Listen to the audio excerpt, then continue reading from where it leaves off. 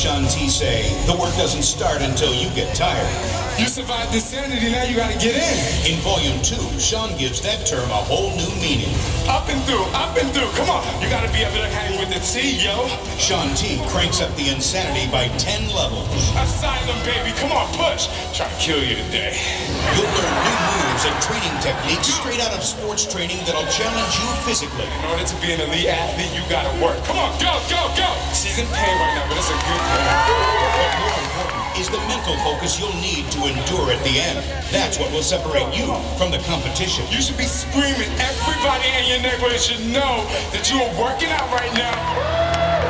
Asylum Volume 2 is on its way, and I'm coming to get you. Insanity the Asylum Volume 2 Elite Training Series, coming fall 2012.